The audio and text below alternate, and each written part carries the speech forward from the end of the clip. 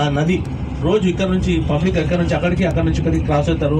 Seventeen thousand five hundred మంది daily cross అవుతుంటారు. అక్కడ ఏమున్నది? డేరా గోల్డ్ షాప్ బంగారు నగల షాప్ మూడు వందల యాభై షాప్స్ ఉంటాయి. లైన్గా ఉంటాయి అనిపిస్తే ఒక్కోసారి ప్రపంచంలో ఉన్న బంగారం అంతా ఇక్కడే ఉందని అన్ని షాప్స్ ఉంటాయి. ఇక్కడ నుంచి అక్కడ ఇక్కడ కూడా ఉంటాయి. ఒక యాభై వంద షాప్స్ ఉంటాయి అది గొలుసు అనేది ఫేమస్ దుబాయ్లో గోల్డ్ మార్కెట్ అంటారు. అవతల వైపు ఉన్న ఏరియా పేరు డేరా. డేరాలో ఉన్నది గోల్డ్ సూక్ బర్దుబాయ్లో ఉన్నది మీనా బజార్. ఓకేనా? ఈ రెండు మీకు అర్థమైపోతే మీకు ఆల్మోస్ట్ దుబాయ్ దుబాయ్ గురించి తెలిసిపోయినట్టు. ఇప్పుడు చెప్పండి అక్కడ ఉన్నది ఏం ప్లేసు డేరా. ఇది గుర్తుపెట్టుకోండి. ఎందుకంటే గోర గోల్డ్ సూక్ కాబట్టి లేడీస్ తప్పకుండా గుర్తుపెట్టుకుంటారు. ఇక్కడే బర్దుబాయ్ ఓకేనా? బర్దుబాయ్లో మీనా బజార్. ఈ రెండు తెలిస్తే మధ్యలో నది. అంటే ఈ నది అనేది మన గంగా యమున సరస్వతి కాదు. సముద్రంని వాళ్ళు సిటీలోకి తీసుకొచ్చారు. సిటీలోకి తీసుకొచ్చి అట్లా తింపుతూ తింపుతూ తింపుతూ ఆ నదికి కూడా సి- సిటీని చూపించి మళ్ళీ సముద్రం కల్పించారు ఇరవై రెండు కిలోమీటర్లు అన్నట్టు. ఇది ఆల్మోస్ట్ ఆల్మోస్ట్ చాలా పాత పెట్రోల్ స్టేషన్. యాస సార్ రైట్ కలినా ఇది ఇస్కే బాద్ జో హే. ఇది ఇది ఉంది చూస్తున్నారా? పాత చాలా పాత అజుగుబాయిబా పెట్రోల్ స్టేషన్. ఇక్కడ దీని పక్కకు థియేటర్ ఉంటుండే ఒకప్పట్లో చాలా తెలుగు సినిమాలు వస్తుండే సౌత్ ఇండియన్ మూవీస్. ఇప్పుడు కూడా వస్తున్నాయి.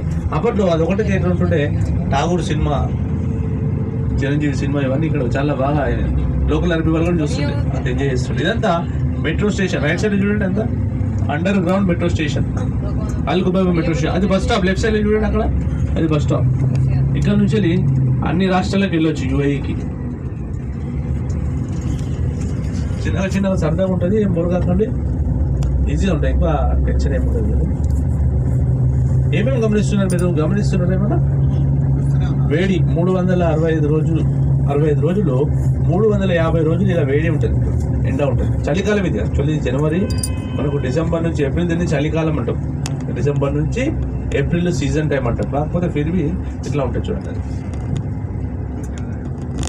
ఈ సూర్య దర్శనం కోసమే చాలామంది టూరిస్టులు దుబాయ్ వస్తుంటారు.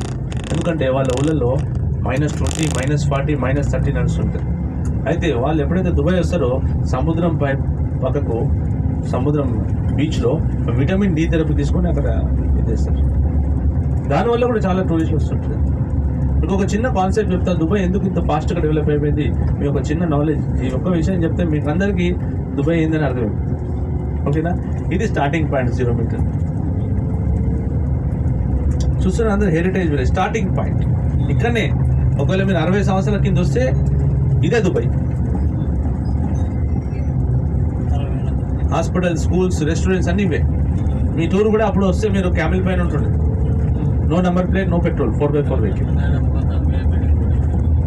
ఇదే ఇదే హెరిటేజ్ విలేజ్ జీరో పాయింట్. వీళ్ళు కూడా ఒకప్పట్లో ఇక్కడ లేకపో వీళ్ళు సౌదీ బార్డర్లో ఉంటుండే. లీవా ఒయాసిస్లో అక్కడ నుంచి పద్దెనిమిది వందల ముప్పై మూడు సంవత్సరంలో సముద్రం పక్కకు వద్దామని చెప్పేసి ఇక్కడ డివైడ్ అయ్యి ఇక్కడ వచ్చారు.